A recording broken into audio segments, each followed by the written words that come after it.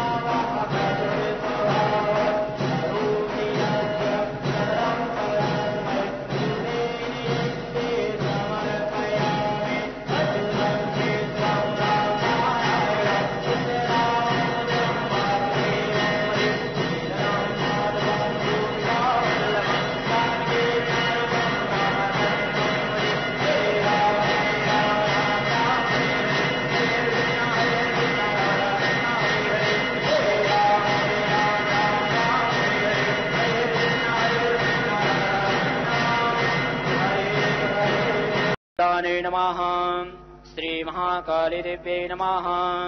श्रीवारुण्डायै नमो नमः। आरार्तिक्यम् समर्पयामि। जलेन प्रदक्षिणाम् कुर्यात्।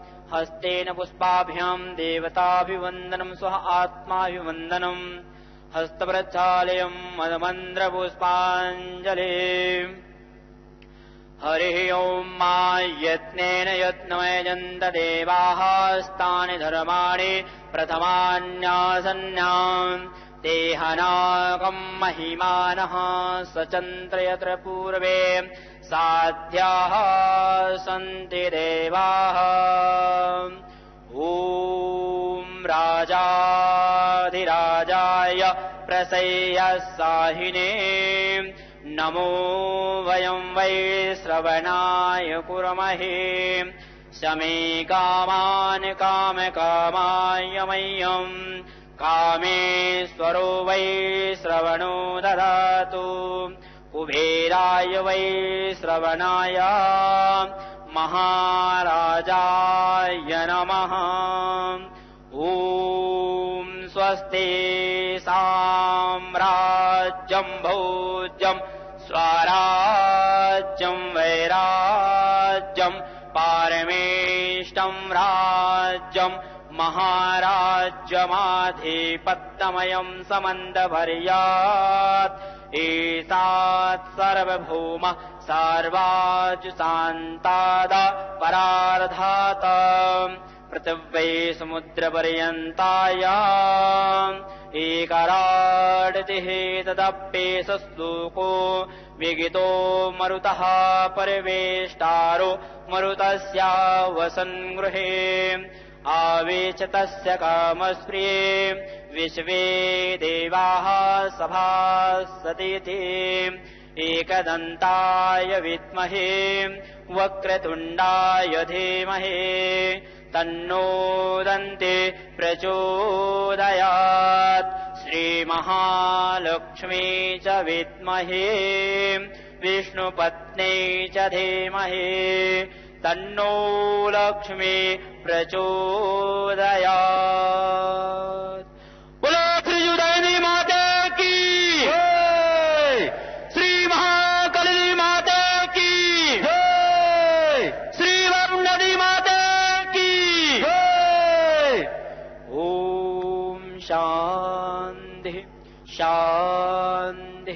शान्तिः शान्तिः सुशान्तिर्भव